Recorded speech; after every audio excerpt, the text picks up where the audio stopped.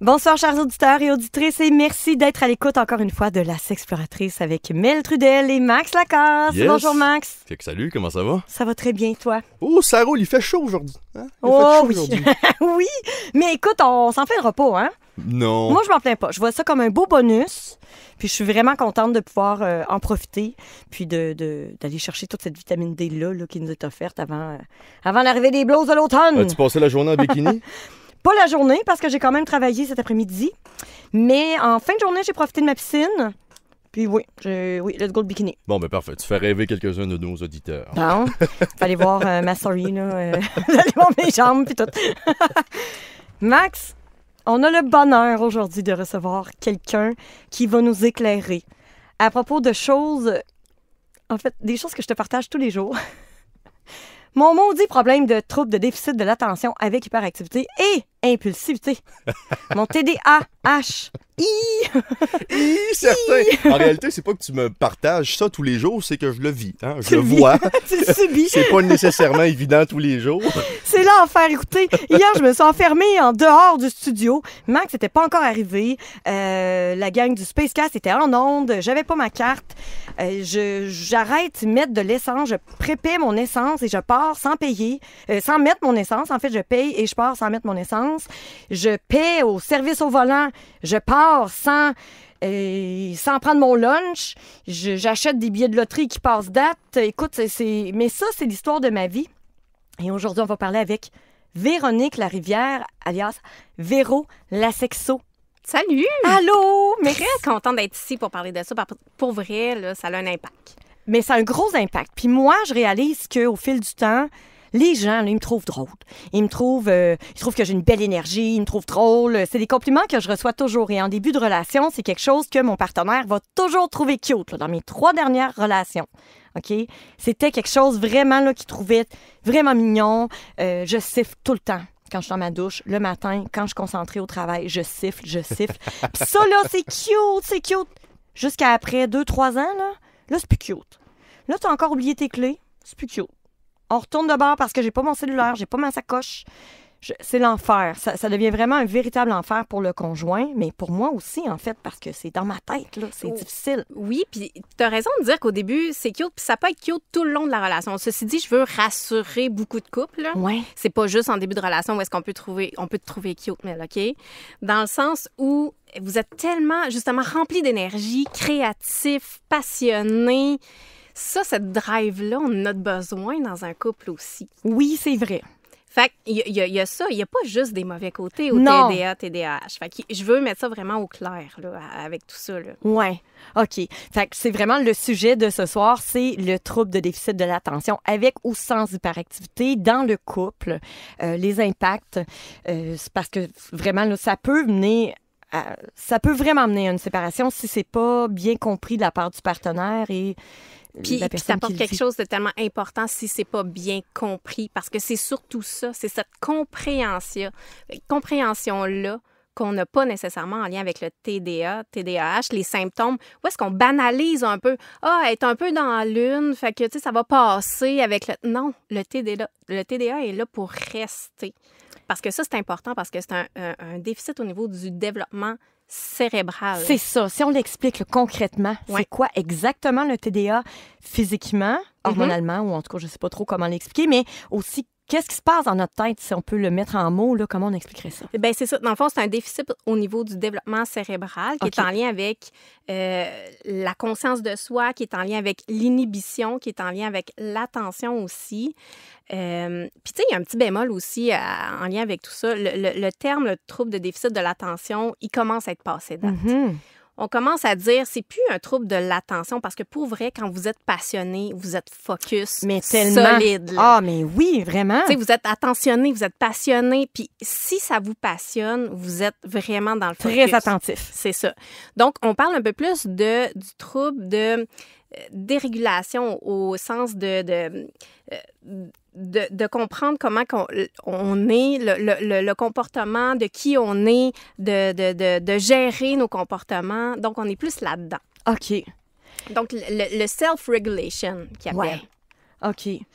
Puis, de réguler nos comportements. réguler nos comportements. OK. Puis, tu as tellement raison. Moi, je me rappelle à l'école, si j'étais pas intéressée par la matière, je dormais. Ou je partais dans la lune carrément, là, dans ma tête. Mais quand quelque chose m'intéressait, là, j'y allais à fond. Exact. Mais ça fait aussi en sorte que quand quelque chose m'intéresse, j'y vais à fond.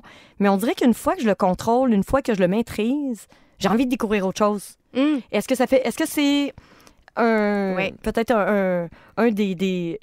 Comment dire? C'est des symptômes, en fait. C'est un des symptômes. Oui, c'est ouais. un des symptômes parce que ça, ça a un lien aussi avec la dopamine. Dans le sens Oui. où la sécrétion de dopamine, les personnes TDA, ils ont une dérégulation aussi au niveau de la dopamine, qui fait en sorte que euh, c'est plus difficile. faut que vous soyez. là, je- je vais- parce que tu es officiellement diagnostiqué, je vais Oui. te dire, OK, toi, toi là, Oui. toi, il faut, faut que tu sois vraiment hautement stimulé ou beaucoup plus stimulé qu'un un neurotypique pour sécréter cette dopamine-là. Oui. Donc, vous êtes vraiment dans la gratification immédiate. Donc, ça prend, si vous êtes stimulé sur quelque chose, c'est là. S'il y a un autre sujet qui vous passionne, vous allez embarquer sur celle-là. Oui. Pour être tout le temps on top de la dopamine, tu comprends? Ouais. Puis, Max, tu avais une question? Oui, ben, on, on a entendu euh, à outrance dans les dernières années qu'il y avait beaucoup de diagnostics qui étaient faits sans trop de, sans trop de base. Puis, d'après les symptômes que tu nous décris, Véro, j'ai l'impression qu'il y a beaucoup de gens qui sont comme ça sans toutefois être diagnostiqués. C'est quoi la proportion des gens qui, selon toi, sont atteints sans le savoir? Tu as raison. Puis c'est c'est difficile d'établir un- une statistique parce que pour vrai, on a commencé à étudier le TDAH dans les années 90. Donc, euh, 94, on a vraiment rentré dans le DSM, le, le trouble de déficit d'attention. Fait que ceux qui l'ont vécu avant, les adultes, tu sais, Parce que dans notre temps, il n'y en avait pas tant non, que ça, là, au parce que primaire ça puis au secondaire. pas. C'est Non. ça, exactement. Le diagnostic n'existait pas. Mais là, de plus en plus, là, on en parle, puis là, les gens se reconnaissent dans les symptômes, dans le diagnostic. Fait que là, ils vont de plus en plus passer des tests neuro, euh, neu- neurobiologiques par rapport à tout ça. Fait que c'est difficile d'établir vraiment une statistique précise par rapport à tout ça. Puis je sais que dans la vie, il y a quand même différents types d'apprenants. Par exemple, on a les auditifs, les visuels et les kinesthésiques. Mhm.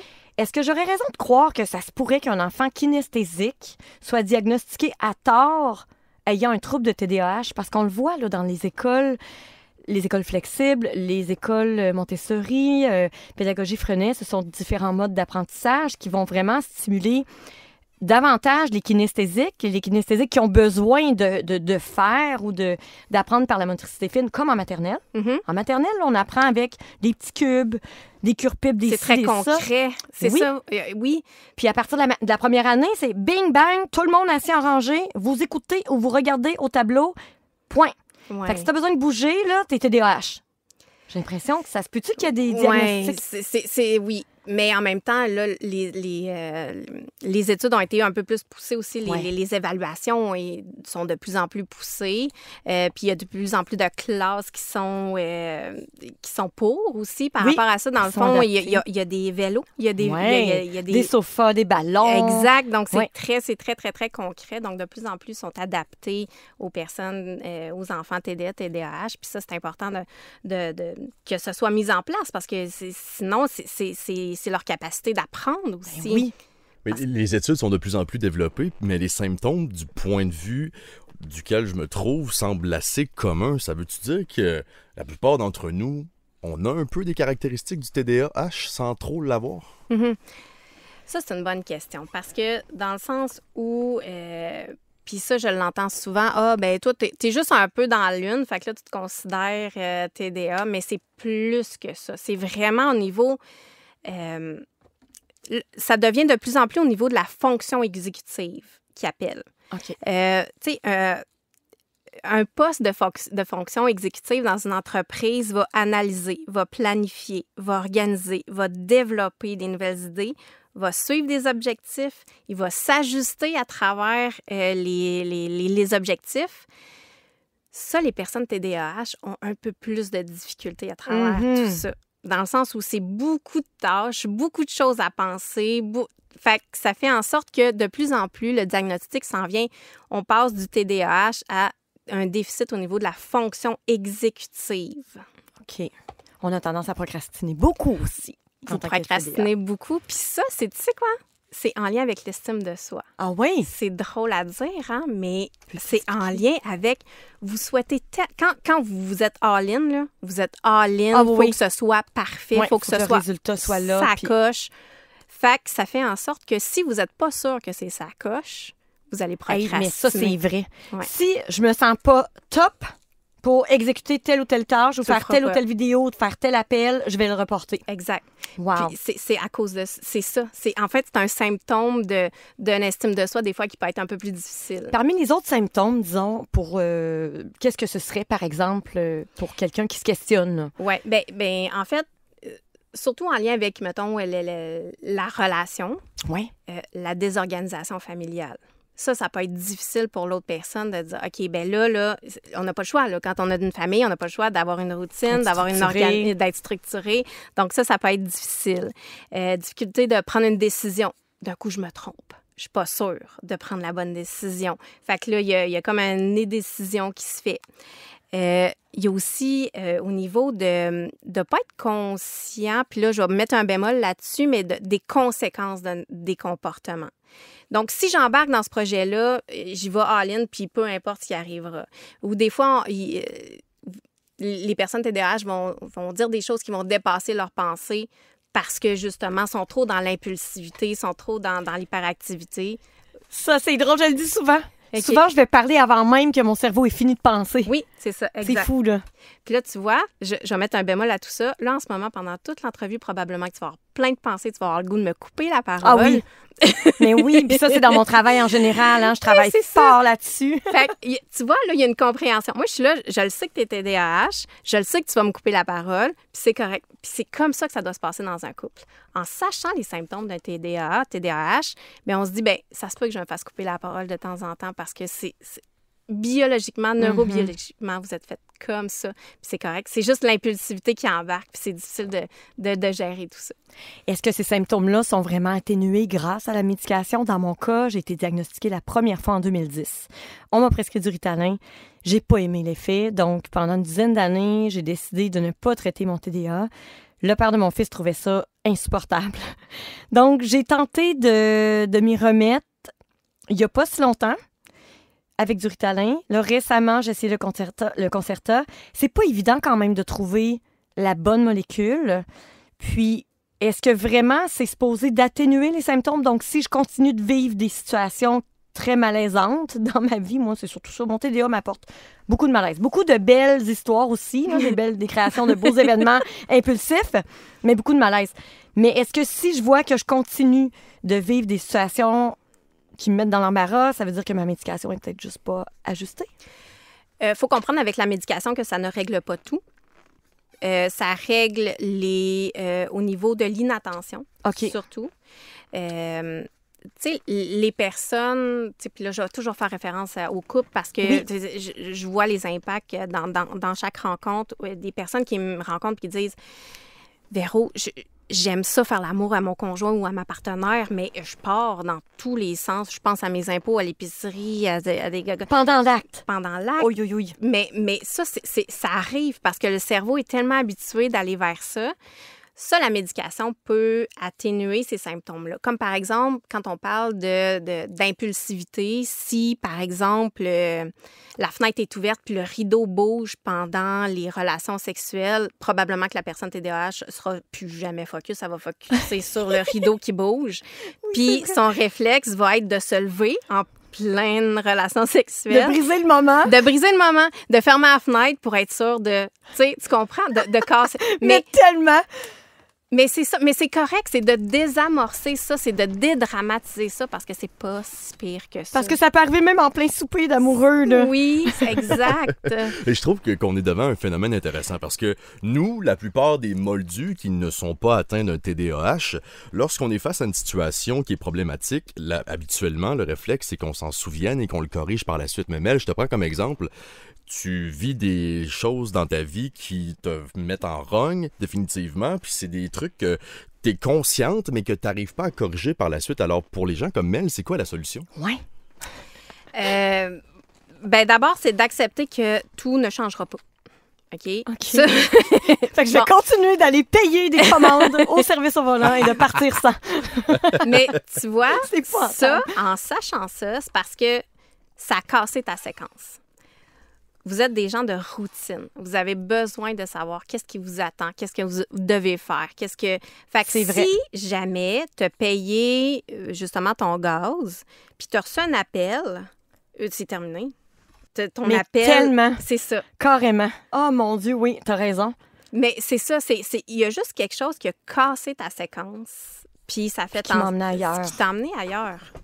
Ouais. Ben, dans, dans ce cas-là, comment on, comment, on- comment Mel pourrait faire pour pallier à ça? Parce qu'on peut, on peut pas prévenir ces, euh, ces événements-là un peu incongrus qui Non. arrivent dans notre quotidien. Est-ce que la solution, c'est d'avoir vraiment un horaire concis avec des points de repère, puis des espèces de balises pour nous ramener dans notre routine? Ce serait le truc, j'imagine. hein? On veut pas nécessairement développer une forte rigidité, là, mais de Oui, juste de prendre conscience que s'il y a quelque chose qui bloque ta routine, si tu reçois un appel, sais, de te dire, OK, là, je, Je reçois- réponds pas. je- euh, oui, ça peut être ça. Ça peut être, tu réponds pas, euh, tu répondras à, à plus tard, euh, tu te mets Ou des je réponds, rappels. un instant, s'il vous plaît. Un instant, je, suis Ouais. occupée. OK. Tu sais, de te mettre des repères comme ça, qui- parce que tu le sais que Oui. toi, si tu embarques sur une nouvelle conversation, probable que tu vas rentrer dans ton auto puis tu vas repartir sans payer. Ben oui. Et puis une fois, une fois, je suis venue pour taquer, j'ai ouvert mon bouchon. Là, je vois qu'il faut prépayer. Je rentre en dedans, prépayer. J'embarque dans ma voiture, je m'en vais. Mais mon bouchon est ouvert, puis j'ai pas mis d'essence. C'est n'importe quoi. Puis une autre chose aussi que j'ai remarqué chez les TDAH, on, a, on, dirait qu'on a une notion du temps qui est différente des gens en général. Même quand je suis bien en avance, OK, je te jure, je peux être en avance, je suis prête. J'ai une heure d'avance, ça va bien aller, je réussis à arriver en retard. C'est comme si je me disais, ah, j'ai le temps de faire ci finalement, puis là, ça me met en retard. En fait, c'est pas c'est- que vous n'avez pas de notion de temps. On n'a pas de notion du temps. Non. C'est ça. Puis c'est drôle parce qu'il y a, il y a- OK, faites le test, là, les personnes TDA ou, euh, tu sais, les, les personnes qui vivent avec ça. Euh, mettons, qu'est-ce que tu fais, là, quotidiennement ou, mettons, hebdomadairement à ta maison? Ça, c'est une autre affaire. Tous les matins, je me lève, je me fais mon café. Mais là, ça fait. ça me coûte cher d'être TDA, moi. Ça me coûte vraiment cher. J'ai pas les moyens d'être TDA. Parce que je prends ma, ma, ma, caf- ma cafetière Nescafé, je mets une capsule, j'apporte. Là, dans les dernières semaines, ça m'est arrivé trois fois de la faire couler sans ma tasse. Ah, oui, hein, c'est ça. Fait que là, j'essaye le soir de mettre ma tasse Oui. tout de suite. Tu vois, c'est bon. Parce que là, j'arrive, là, tout est sur le comptoir, puis je suis comme, Caroline, sérieux, je- tu sais, c'est dur d'être dans ma tête. c'est vraiment dur d'être dans ma tête. Fait que moi, ça, c'est ma routine. Le matin, c'est ça, la- une des premières choses que je fais en me levant. Parfait. Mais est-ce qu'il y a une tâche qui te prend un peu plus de temps, mettons? Parce que je vais donner comme exemple, euh, j'ai donné comme test à une personne euh, qui avait comme tâche de vider le lave-vaisselle. OK? Euh, puis lui donner comme défi, comment tu penses que ça te prend vider le lave-vaisselle? Puis, Hey, J'ai aucune idée comment de temps ça peut prendre? exactement. C'est c'est ça le défi. pas de notion du temps, c'est normal? C'est exactement ça. Je te pro- tu sais, je propose là, aux gens de, tu sais, que ce soit, mettons, de passer la tondeuse, de proposer à la personne TDA du, du, du couple, de dire comment de temps tu penses que ça te prend passer la tondeuse? Hey, On va mettre un temps, passe-la, puis on va voir si tu es capable d'évaluer. Puis souvent, c'est vraiment différent parce que vous n'avez pas cette notion-là ou très peu. c'est drôle que tu me dises ça. Mon ami Steph, la semaine passée, bon, le dimanche, euh, bon, euh, je voulais, euh, bon, je voulais faire mon plancher, ma balayeuse, tout ça. Il Ouais, mais là, il dit, combien de temps tu penses que ça va te prendre? Je disais, Hey, je sais pas, là. J'étais incapable de dire combien de temps ça allait me prendre de faire mon plancher. Puis tu as raison que j'ai beau y penser, j'ai absolument aucune idée. J'ai jamais regardé. À partir du moment où je commence, je termine, combien de temps ça me prend? C'est hallucinant, là. J'ai jamais réalisé ça jusqu'aujourd'hui. Oh. Je C'est voulais hot. pas, je voulais pas te... Non, mais, non, mais, non, mais, je trouve ça fascinant Ouais. que ce soit un trait de, de Oui. TDA. Est-ce que C'est quelque chose que tu pourrais mettre en place prochainement pour t'aider, Véro? Ben, en fait, ce que je propose au couple, parce que souvent, ce qui arrive, c'est que, euh, par exemple, la personne qui est neurotypique va dire à son conjoint ou sa conjointe, euh, ben, on va souper ensemble, tu sais, ça serait le fun que tu sois euh, prêt dans genre une heure. Mais mettons, la l'autre personne est en train de travailler ou est en train, est sur un projet et tout. Euh, une heure, là, euh, ça passe, là, une heure, une heure et demie, deux heures, puis là, l'autre, elle attend, puis ou, il attend parce Hey, que ça peut manque de respect pour l'autre. oui, mais en même temps, mal. ben oui, mais en même temps, c'est ça, c'est de comprendre. C'est à la personne justement qui a ces symptômes-là, parce que ceci dit, je vais faire une petite parenthèse, il y a autant de types de TDAH que de personnes sur cette terre. là. Ça ne veut pas dire que les TDAH ont tous les mêmes symptômes. Ouais. Il y a ça à mettre au clair. C'est pour ça qu'il y a différentes molécules. Il y a, il y a Exact. Bifantin, Vivance, euh, Concerta, Stratera même, je pense. Fait qu'il Euh, faut travailler sur ouais. les symptômes qui sont problématiques dans la relation ou dans le quotidien. Mais euh, ceci dit, c'est ça. S'il y, a- il y a- il y a une difficulté au niveau de la gestion du temps ou de, de la compréhension de l'espace-temps, ben, c'est de, de vraiment se mettre des rappels sur son téléphone. Euh, Ça, c'est une autre affaire. hein. Quand on va dans l'alarme des TDA, là, souvent, là, hey my God, c'est la même. Nos- Oui, je comprends. Je comprends tout à nos fait. cadrans, là, j'ai j'ai genre 100 fois 9 heures. Oui. Euh, plutôt que de toujours utiliser le même cadran, j'en cédule un nouveau à C'est chaque jour. C'est ridicule. Non, c'est pas ridicule, c'est parfait. C'est parfait. c'est long enlever tout ça après, là. Oui, mais un un coup que c'est fait, c'est fait, là. Mais c'est parfait. Regarde, tu vois, tu t'organises comme ça, tu le sais Oui. que t'es fait comme ça. C'est Fait qu'il y a des options. Il y a des rappels. Il y a... euh, souvent, ce que je vois aussi, c'est de ne pas nécessairement euh, garder le téléphone, mais de mettre vraiment un- euh, une horloge vraiment concrète dans la pièce parce que vous avez plus tendance à regarder l'heure sur ouais. le mur de- que sur le téléphone. Oui. Fait qu'il y a différentes stratégies comme ça, en sachant que si c'est un de vos symptômes, ben en sachant ça, ben on s'organise justement à travers tout ça. Parce qu'on vient qu'on se développe comme une espèce de réputation. Moi, dans mon cas, les gens le savent, je suis tout le temps en retard. Tout le temps, tout le temps. Mhm. Même que la dernière fois que j'avais un événement à la Piazzetta, euh, on avait une escouade Go See You, là, avec mes événements euh, pour les célibataires et tout. Et là, j'étais prête. À 3h30, j'étais prête pour prendre le bateau. De 4 heures, l'événement était à 6 heures. J'étais en masse dans mon temps. Mais là, les bateaux étaient congestionnés. La 20 était congestionnée, donc je devais traverser de la rive sud à la rive nord. J'ai manqué quatre bateaux étant pris dans... Ça avançait, mais pas vite, et je pouvais pas retourner.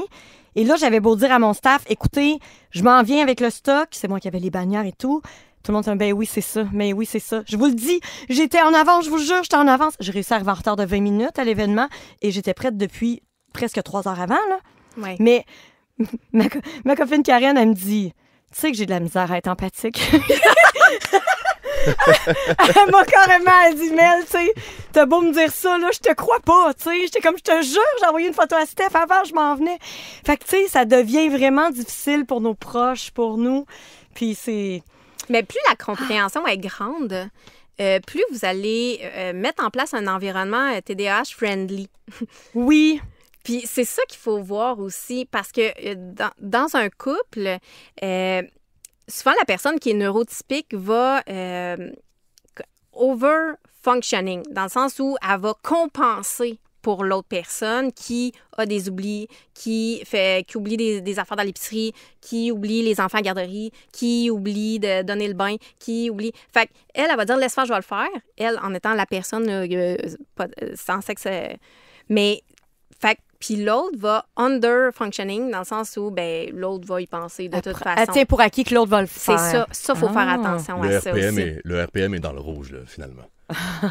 Mais justement, pour prévenir ça, tantôt, Véro, tu nous as appris qu'il y a autant de TDAH qu'il y a de personnes sur Terre, ni plus ni moins. Puis tu as dit quelque chose d'intéressant. Tu as dit qu'un des profils qui les caractérise le mieux, souvent, c'est l'impulsivité. Mais outre cette émotion-là, quel autre trait de caractère pourrait définir une personne type qui a le TDAH? Parce que c'est important de le savoir pour qu'on puisse mieux jongler avec ça, Je j'imagine. pense que ça prend un diagnostic quand même. hein, Oui, pour, ça euh, prend vraiment un diagnostic. Il y a ça aussi à prendre en il y considération. a des traits peut-être communs. là, Mais il y a des traits communs qui est une faible tolérance à la frustration et à la Mm. critique. Parce que, justement, on parlait de l'estime de soi, qui est un peu plus difficile parce que le, le- la conscience de soi est plus ou moins là.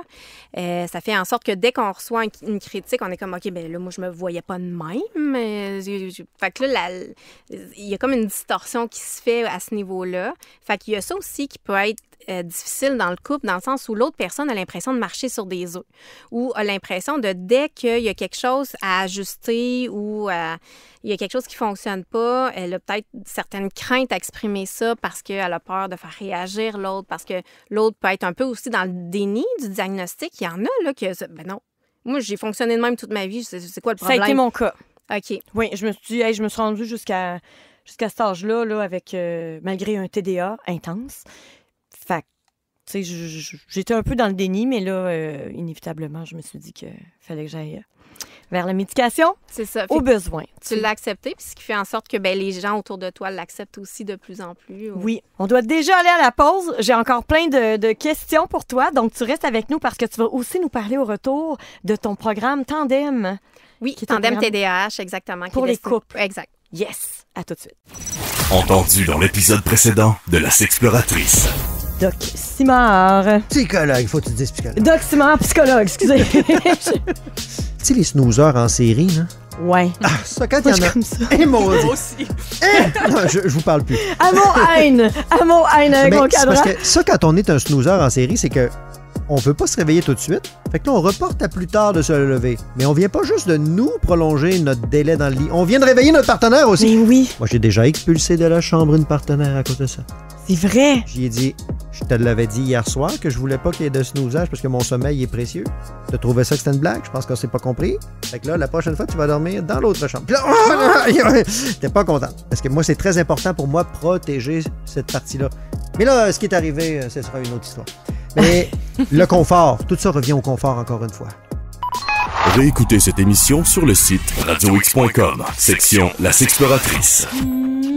De retour avec la sexploratrice Mel Trudel, Max Lacasse et ce soir en compagnie de Véro Lasexo, Véronique Larivière, que vous pouvez trouver un peu partout là, sur les réseaux sociaux. Toujours là. Toujours là, toujours présente.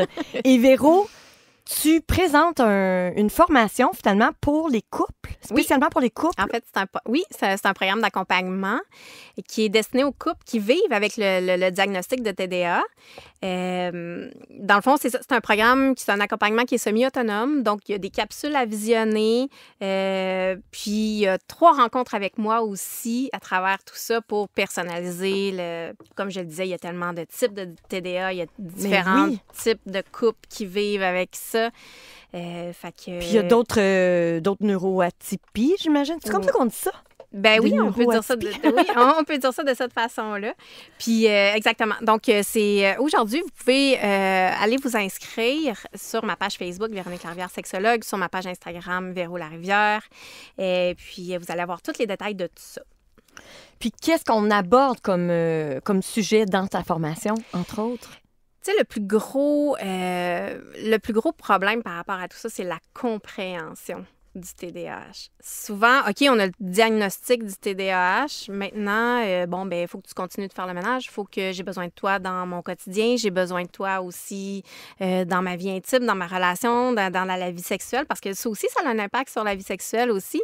Fait que le premier module est vraiment sur qu'est-ce que c'est exactement le TDA, TDAH, euh, comment le, cerveau fonctionne aussi en lien avec ça, d'où ça vient? Euh, fait que le module 1 il est vraiment axé sur ça. Le deuxième module, c'est les impacts sur la relation. Là, c'est là que, que j'appelle mon module d'i- d'illumination. Où est-ce que on se dit tout est dans tout. Ah, c'est à cause de ça Ben, moi, agit depuis comme tantôt, ça. depuis tantôt, tu m'as allumé sur des trucs. Je me suis dit, tabarouette, je devrais quasiment. Parce que j'imagine que tu prends quand même des personnes seules parfois pour ça. Ou... Oui, exact. Et, euh, justement, il y, a- y y des personnes seules qui m'ont contacté pour savoir, oui, mais moi, mon conjoint ou ma conjointe n'est pas nécessairement d'accord ou elle n'accepte pas nécessairement son diagnostic, mais moi, j'ai envie de comprendre vraiment pour l'aider là-dedans, pour m'aider aussi dans mon quotidien. Fait que oui, j'accepte euh, des personnes en individuel aussi. C'est pas que destiné au couple. OK. Euh, fait que ceci dit, module 2, vraiment, on, parle des impacts sur la relation, sur l'intimité, sur la sexualité aussi. Puis le module 3, c'est vraiment sur les stratégies d'adaptation positive. Donc, ce qui fait en sorte que votre quotidien va être plus léger. Malgré le fait que le TDA, comme je le disais, il va toujours être présent, mais il y a tellement de façons de gérer tout ça, de, l'optimiser. de l'optimiser, ouais. c'est ça, de pas faire en sorte que le TDA, c'est l'élément central de votre couple. C'est juste une parcelle de tout ça qui fait en sorte que, ben, écoute, c'est c'est ça, puis voici comment on va s'organiser à travers tout ça. Puis ça va être dans l'harmonie, dans le respect, dans la bienveillance, puis dans l'empathie. Est-ce qu'on doit absolument traiter un TDAH? Par la médication, tu parles, ou... euh, Par euh, l'approche dont tu proposes ou par la médication, peu importe la façon, est-ce que ça doit être traité absolument? En fait, le TDA se traite pas. On vit avec le TDA, euh, on l'atténue avec la médication. C'est ça. Ouais. Ça atténue les symptômes, mais atténue ça les ne guérit pas. Exact, exact. C'est vraiment un, un déficit au niveau du développement cérébral. Moi, ce que j'ai remarqué Comme là, je me suis pas entraînée là, euh, officiellement depuis longtemps. Là. D'ailleurs, moi et Max, même les auditeurs, là, et d'ailleurs, partagez-nous vos histoires hein, par texto, on aime ça. Moi et Max, on veut essayer de se motiver là, le matin, se dire Hey, OK, on s'entraîne chacun de notre bar, mais on. OK, go! Tu sais, Ah oui, on je t'ai texté un matin, tu m'as répondu deux heures plus tard. Je me Excuse-moi, suis je dormais. rendormie. ça n'a pas de bon sens quand je suis pas stimulée, comme je le dis, là, je, je m'endors. Mais c'est pas tout le monde qui est comme ça. Mais euh, tu vois, là, j'ai perdu l'idée d'où je voulais m'en aller. Euh, Ça, tu vois, ça, c'est un autre symptôme. Mais en tout cas, ça, oui. c'est- mais, mais, mais en fait, c'est ça, c'est que j'ai réalisé que le sport et les oméga 3, là, Ouais. ça avait un impact tellement Mm. positif sur moi et mon Ouais. Sur ma concentration. Puis j'ai découvert aussi qu'en travaillant debout sur un step au comptoir de ma cuisine, un petit step qu'on achète là, bien simple chez Canadian Tire, ou ça là, ça aide tellement, mais tellement mon quotidien. Oui. Vraiment. Tout à fait. faut que vous dépensiez de l'énergie. faut que vous boostiez votre euh, sécrétion de dopamine. C'est vraiment ça. C'est vraiment ça parce que justement, d'aller courir, là, c'est peut-être pas assez cool, sans, sans, sans vouloir dire que c'est pas cool d'aller courir avec. Mais il faut que ça te stimule là, au plus haut point. Là. Ouais. Fait qu'il faut que tu aies vraiment une motivation intense pour euh, avoir. Procéder à un acte euh, sportif quelconque. Là. Mhm. Ouais. Moi, souvent, en fait, je vais, je me ramasse sur mon elliptique ou mon tapis roulant, puis je travaille en même temps sur mon cellulaire. Mhm. Et ça, c'est ma façon à moi. Ça, dans ce temps-là, là, je vois pas le temps passer. C'est ça. C'est l'enfant je me lève la tête. Hein, 47 minutes, mon Dieu, ça a passé vite, tu sais. Puis d'autres fois, si je fais rien du tout, puis je suis sur mon tapis roulant, là, après 5 minutes, je trouve ça étern- éternellement long. C'est l'enfer. Donc, aurais-tu d'autres petits trucs comme ça à donner, peut-être pour euh, aider à atténuer les symptômes, outre euh, le sport? Euh, ben oui, c'est sûr qu'il y a le sport. Il y a euh, aussi, tu sais, quand on parle du temps, euh, de se mettre des. Là, tu parlais des alarmes. Clairement, ça, là, c'est, c'est, c'est la base. Oui. C'est, c'est- c'est vraiment la base de se mettre des alarmes. Puis il y en a qui sont réticents à ça, de se dire, ben là, je ne me mettrai pas des alarmes pour donner de la bouffe à mon chat. Je ne me mettrai pas des alarmes pour aller chercher mes enfants à garderie. Quel parent indigne je suis. Mais non. Vous êtes tellement dans le time blindless, vous êtes pas, c'est ça, vous êtes tellement dans l'espace-temps qui, qui est obscur que vous n'avez pas le choix de mettre ces alarmes-là. Fait utilisez votre téléphone à ce niveau-là. Puis, Des euh, to-do list, peut-être? des to-do list, euh, mais pas trop longues parce que ça vous... euh, Ça nous décourage. Ça, vous- ça vous décourage. Ouais. Pas plus que six tâches à la Ah. fois. OK. Par jour. Ça a été prouvé que justement, de même, tu sais, quand vous, euh, les couples, ils réorganisent le, le- le- le planning familial, ou est-ce que justement, les- les- souvent, le, le- la- le- le conjoint ou la conjointe qui est neurotypique va dire, ben là, je suis pas pour y faire une, euh, une tâche, un tableau familial, en disant quoi faire, puis oui, Euh, oui. Mais Wow. une fois que c'est rentré, une fois que c'est visuel, une fois que c'est sur le frigo, c'est sûr que vous allez le faire. C'est vrai. C'est là, là. C'est là, vous n'avez pas le choix. Fait que vous savez que euh, vider le lave-vaisselle, vous savez que vous avez le recyclage à sortir, vous savez que tel jour, c'est telle affaire. Fait que, de suivre les tâches. Parce que moi, effectivement, que, puis je sais que je suis pas toute seule comme ça, je vois des vidéos passer sur les réseaux. Une journée de ménage à la maison, là, ça finit que j'ai commencé plein de trucs puis j'ai rien fini à Ouais. la fin de la journée. Mhm. Parce que là, bon, je ramasse des vêtements dans la chambre à mon fils, je viens pour aller les porter dans la salle de lavage, je vois un truc qui est propre, hop, je vais aller serrer dans mon tiroir, dans ma chambre. Oh, il y a un verre d'eau sur le comptoir là, je vais le porter dans la salle de bain, là, euh, dans, dans la cuisine. Ah, ben là, finalement, je vais vider la vaisselle. Ah, OK, ouais, là, ça, ta, ta, ta. ça finit plus. C'est l'enfer. Fait que j'ai Ouais. commencé plein de tâches partout dans la maison, mais j'ai rien fini. Exact. Fait que c'est- ça. C'est de se recentrer sur six tâches max à faire. Puis vous verrez, vous en rajouterez au fur et à mesure. Quand, parce que quand c'est rentré, je suis sûre qu'il y a des tâches que tu fais au quotidien que tu n'as pas besoin de liste. Tu le sais qu'il faut que tu le fasses. Oui.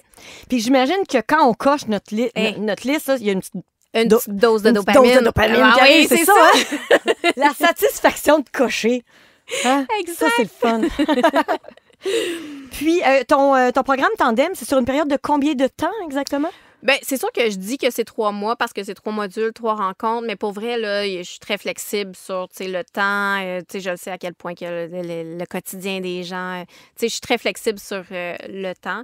Fait que on commence ça le 25 septembre, tout le monde ensemble. Puis Ce sont des rencontres en présentiel ou. en visio. OK, En visio. Donc, Ah, euh, ça peut être un, un peu partout. Puis, euh, ben c'est ça. Puis, ça, suite à ça, ben on a trois rencontres ensemble. Puis, il y a des petites capsules qui sont super interactives, tu sais, qui, qui, qui, qui vous tiennent attentifs. Tu sais, j'ai- tout monté ça exprès pour les personnes TDA. Wow, ça peut quand même être une belle activité de couple, je trouve. Ah, vraiment, vraiment, C'est un vraiment. petit projet, tu sais, qui. Ah oui, de juste d'avoir de- cette compréhension-là, puis cette espèce d'empathie envers la réalité de l'autre. là. Puis Parce que c'est c'est le plus gros défi des couples qui sont euh, qui ont un mix entre un neurotypique puis un TDA, c'est de, de la compréhension. Chacun a l'impression qu'ils ne se comprennent pas, qu'ils Ouais. comprennent pas justement émotivement, qu'ils comprennent pas, fait qu'ils se braquent. Puis le degré. Oui. Tu, tu m'amènes sur, ma- sur le prochain point, euh, Véro, parce que depuis le début de l'entrevue, on met l'emphase sur un des deux dans le couple qui est neuroatypique. Mais si les deux le sont, on Ouais. fait quoi? Ça, ben, c'est- Aïe, aïe, aïe. C'est une excellente question, mais en même temps, on mise sur les dimensions qui sont à travailler. Parce que, comme je le disais, ça ne veut pas dire que vous avez les mêmes symptômes, même si Non. vous êtes tous les deux TDAH. C'est pour les partenaires, c'est la même chose. Là, chaque partenaire a une ouverture à tel tel niveau. Là. Tu sais, Moi, ça a été très léger pour certains, d'autres qui toléraient bien la majorité des trucs, mais d'autres pour qui c'était très irritant. Exact. Donc, c'est la même chose. c'est de, cas. de s'asseoir puis de se dire, ben écoute, quelle dimension on souhaite améliorer ensemble? Puis là-dessus, c'est quoi les, les stratégies ou les, les stratégies d'adaptation ou les outils à mettre en place pour améliorer notre quotidien? Puis surtout, de tolérer l'erreur. De se dire, écoute, ça se peut là, qu'on s'enferge à quelque part, puis qu'il va falloir tolérer le step back, puis qu'on reprend ça. Puis, tu sais, c'est de tolérer ça aussi. Là. Oui.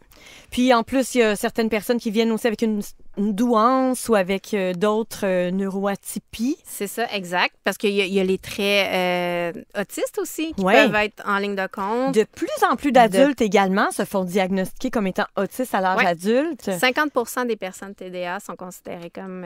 C'est vrai? oui, selon les études. Wow. Mais moi, en passant les tests que j'ai faits, là, disons, en neurologie, tout ça, est-ce que est-ce que ça se serait sorti, ça, ou... Euh, dans ton évaluation, ça Ouais. serait sorti. Ah, OK. Ah, super. Mais Je me suis toujours demandé. c'est, quoi les bienfaits d'être diagnostiqué? Pour quelqu'un qui pense qu'il l'est, mais qui n'a jamais été diagnostiqué? Qu'est-ce qui pourrait le pousser à aller chercher un diagnostic, à contrario de pas en avoir un, puis continuer à vivre sa vie comme si rien n'était? Il pourrait ne pas avoir de diagnostic. C'est pas Oui. nécessaire, mais en même temps, ça. ça ça met, tu sais, on a besoin de cette espèce d'étampe de dire, OK, ben c'est pour ça que je suis comme Oui. ça. C'est pour ça que... Ça euh, explique je- beaucoup de choses. C'est ça. Il y a comme une normalisation, une, une dédramatisation de ce qui se passe parce qu'on se dit, OK, mon cerveau s'est développé de cette façon-là. C'est pour ça que je réagis comme ça. Donc, il y a une, une certaine forme d'acceptation aussi par rapport à ça. Puis, ben, il y a l'acceptation aussi de la médication si ça s'impose et quoi que ce soit. Fait Qui n'est pas obligatoire. C'est est pas parce que obligatoire. TDA, Exact, que tu dois prendre la médication. Moi, je vous le dis avec le sport et les oméga 3, là, NutriPure, pour ne pas les nommer, de chez Naturiste, pour les enfants et pour les adultes, moi, ça fait des miracles. Et ça, je l'ai découvert quand j'étais enceinte. Chaque jour, je prenais une, une cuillère d'huile de poisson. Mm-hmm. Puis là, j'ai vu les effets et c'est là que j'ai euh, réalisé que c'était bon pour euh, mon TDA. Et pour les célibataires TDAH, est-ce que tu conseilles d'aborder le sujet dès une première rencontre par rapport à ça? Euh, Une première rencontre, je pense pas que ce soit nécessaire. OK. Euh, je pense que. Pas Ça pourrait faire peur plus qu'autre chose? Ben, en même temps, si ça fait partie d'un stress, de, de, de dire, ben là, euh, je, suis sûre qu'il va s'en rendre compte qu'elle va s'en rendre compte, il y, a, telle chose que je dois travailler, puis euh, on peut, juste le fait de l'exprimer, ça peut désamorcer aussi bien des affaires. Fait que ça peut, ça peut être. euh, c'est vraiment selon les, besoins de chacun. OK. Puis, quelqu'un, là, bon, les gens voudraient s'inscrire, tout ça. Est-ce qu'ils doivent absolument avoir eu un diagnostic ou s'ils pensent qu'ils sont, tu peux quand même les prendre sous ton Euh, aile oui, avec ce programme-là? c'est- sûr qu'avec le diagnostic, c'est parfait parce que, dans le fond, on met en, en place tout- plein de choses. Un plan d'intervention. Un plan d'intervention par rapport à tout ça. Euh, mais si vous avez des doutes, c'est sûr que ce, ce- ce programme-là n'est pas, euh, fera pas de diagnostic. Là. Puis c'est pas une thérapie ou est-ce que c'est, c'est, c'est, euh, une sexo-éducation, une psycho-éducation qui fait en sorte que bon là on comprend mieux ce qui se passe, on, on met des mots sur ce qui se passe, puis euh, c'est ça. Donc euh, pas besoin de nécessairement de diagnostic, mais ça aide justement. Au niveau de l'intimité, c'est quoi les enjeux euh, d'une personne TDAH, disons, dans une relation sexuelle? C'est quoi les, les- les choses qui sautent le plus aux yeux qui pourraient être euh, préjudiciables? Ben, comme je disais, c'est tantôt, on, on Ouais. parlait des rideaux. C'est ça, les rideaux, le- l'espèce de, des, des, des, des pensées qui surviennent assez euh, automatiquement. Et ça peut avoir un, un impact aussi sur le désir sexuel parce que si la personne est hyper focus, parce que euh, au cours de la relation, ça se peut qu'elle soit hyper focus sur la relation au début de la relation, où est-ce que l'autre est comme le centre de son attention, et puis devient vraiment intense. Mais là, avec le temps, ben, tu sais, ça, ça s'estompe, puis là, l'hyperfocus devient sur le travail, par exemple. Puis là, l'autre est comme, ben ouais, mais tu me mettais beaucoup plus d'attention en début de relation, puis là, euh, je suis plus dans ton focus. Fait que là, ça peut créer certaines incompréhensions aussi. Euh, ça peut avoir un impact sur le désir sexuel aussi. Quand on est hyper focus sur d'autres choses, le désir sexuel passe vraiment Ouais. en dernier, dernier, dernier, parce que justement, c'est pas parce qu'on désire pas l'autre, c'est juste que le, on crée pas le moment propice pour créer ce désir-là, parce qu'on est occupé à d'autres choses. Fait que c'est- juste ça, c'est de comprendre, parce que souvent, en rencontre, je le vois, ça. Euh, mon partenaire a plus de désir envers moi, je comprends pas, c'est moi qui est plus désirable. Souvent, on le prend personnel, mais c'est pas nécessairement Mm. ça. C'est de prendre en considération que ça peut être un, un symptôme du TDA, TDAH, parce que euh, faut créer ce désir-là. Ces personnes-là ont un désir qui est plus réactif que spontané. là. Et toi, est-ce qu'on peut débarquer dans ton bureau pour obtenir un diagnostic ou c'est pas, Non. c'est pas toi Moi, là, qui fais ça? Toi, Non, moi, je fais pas de diagnostic. OK. Moi, en dehors, J'accompagne une fois que le diagnostic est là. OK. Puis en dehors de euh, ce service-là, le tandem que tu offres au couple, euh, TDAH, ça, Ouais. quels sont les autres services ou euh, Ben, il y a les rencontres one-on-one, Ouais. est-ce que j'ai aussi en visio. Euh, il y a mon programme en Allume- sexologie? En sexologie, Ouais. exa- euh, exactement. Euh, il y a mon programme Allume-moi qui est destiné entièrement au désir sexuel. Justement, on parlait du désir sexuel. Très C'est- intéressant. Tu ouais. pourrais revenir nous en parler de ça? c'est comme un Google de désir sexuel. Ah ouais. Ah ouais. fait que euh, c'est ça. Dans le fond, il y a ce programme-là. Puis il y a Tandem Communication aussi, qui est justement destiné aux couples qui ont plus de difficultés à mettre en place la gestion de conflits, la communication. Donc, où est-ce que la communication est plus difficile? Donc, euh, ben, tout ça est sur mon site web, véroniquelarvière.com, puis sur ma page Facebook, puis sur Instagram C'est aussi. super intéressant. Puis je lisais récemment que quand on parle, par exemple, d'argent dans le couple, il y aurait 40 des couples qui n'oseraient pas en parler. Et c'est source de conflits, même Ouais. de séparation chez, chez plusieurs couples. Puis on, on pourra en reparler, mais Ouais. dans le sens où il y a euh, 69 des conflits dans le couple qui sont insolubles, dont l'argent, l'éducation des enfants, le Oui. sexe. Fait qu'il y a ça aussi à prendre en considération, qu'il y a 69% des désaccords que vous avez qui ne se régleront jamais. Vous ne serez jamais d'accord. Ben, on dit souvent, le couple n'est pas là pour rendre heureux. Le Ben- couple est là pour ajouter quelque chose à ta vie, mais c'est pas ça qui projets. devrait. Ouais, exactement. Tu sais, C'est ça, c'est pas, c'est pas l'élément central de ton bonheur, effectivement. quelqu'un qui, euh, qui a le- pas le bonheur facile, disons, puis qui voudrait tenter de trouver, c'est d'apprendre à être bien seul et tout ça. Est-ce que c'est quelqu'un qui pourrait te consulter Oui, oui, oui, justement? tout à fait, tout à fait. Parce que tu as un petit volet de plus, tu sais, t'es- t'es en quelque t'es en- t'es une psychologue, mais euh, si on veut, Tout- avec volet sexuel finalement, hein, avec le volet sexuel. Fait que c'est un petit petite coche au-dessus là de. Ben, en fait, c'est c'est l'aspect. tu sais, Quand on dit tout est dans tout, là, le- Ouais. s'il y a une difficulté au niveau de- relationnel, de la sexualité, c'est parce que euh, c'est un symptôme de quelque chose qui est plus grand. Fait que c'est sûr qu'on travaille sur ce qui est plus grand. Comment t'en es venu à développer cette expertise-là, Véro? C'est une bonne question. Hmm. euh, je sais pas quel âge que tu as, mais euh, dans le temps. À mon époque! oui, c'est ça. Il y avait un magazine qui était vraiment relié à la sexualité du couple. Puis c'était tout nouveau, ça s'appelait Corps et âme. Je sais pas, mais. Eh oui! Mais moi, je- vrai, ça existe plus, ça? ça n'existe plus, ça. C'est dommage. hein? Comme Sexe et Confidence, j'aimais tellement ça. Ben, C'est de là qu'est née l'émission de la Sexploratrice d'ailleurs. Moi, j'aurais voulu appeler ça Sexe et Confidence 2.0. Wow. Moi, c'était mon Sexe et but. confidence. Euh, initial, la Sexploratrice, c'était déjà mon nom sur les réseaux sociaux et tout, là, tu sais. Mais euh, Sexe et Confidence, j'adorais ça. Ben, c'est- ben, c'est un peu de la même époque, en oui, fait, de ben et oui, absolument. Fait que moi, je lisais ça, j'étais abonnée, puis là, je me disais, mon Dieu, que c'est donc bien intéressant, la vie de couple, puis la vie, tu sais, intime, puis tout. Fait que, de, voilà, j'ai déménagé à Montréal, puis j'ai- été étudier en Wow. la Puis t'es revenu à Québec. Je suis revenue euh, à Québec parce que c'est ça, C'est ta ville. ma. Puis le, le volet TDAH, la spécification là, pour les couples et tout, comment en as-tu eu l'idée? Ouais. C'est une demande que tu avais, j'imagine? Euh, c'est une demande que j'avais, puis euh, je te dirais que j'ai dû apprendre beaucoup de choses dans mon propre couple par rapport à, à cette réalité-là, Oh. ce qui m'a amené à justement pousser mes recherches, puis j'ai voulu comprendre euh, ce qui se passait, comment, comment améliorer cette dynamique-là aussi. Euh, fait que je voulais aider d'autres couples aussi en lien avec ça. C'est super. Donc, véroniquelarivière.com. Partout sur les réseaux sociaux, on peut te retrouver. Oui. On retrouve tes capsules. Des projets autres que le projet Tandem. As-tu d'autres choses euh, à venir? euh? Euh, pour l'instant, là, je me consacre vraiment à ça. Oui, c'est ça. Puis, c'est combien de couples environ qui pourraient s'inscrire à. Euh, j'ai pas de.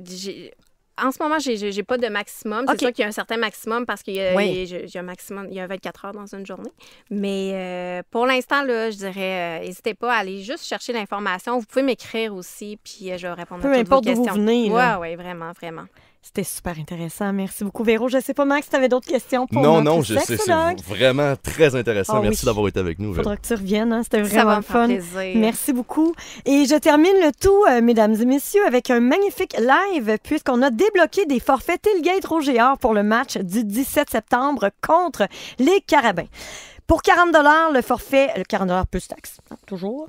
Le forfait comprend billets dans les sections 100, consommation offerte par le Corsaire, pointe de pizza offerte par Salvatore, un hot dog offert par Rêve Sportif, un arancini, smoke meat et cheddar de Brain Smoke Meat, un morceau de poulet PFK à Mel Vanier, un biscuit de Fougato et une dégustation offerte par la distillerie des Appalaches. C'est pas compliqué, tu vas sortir de là, tu vas rouler.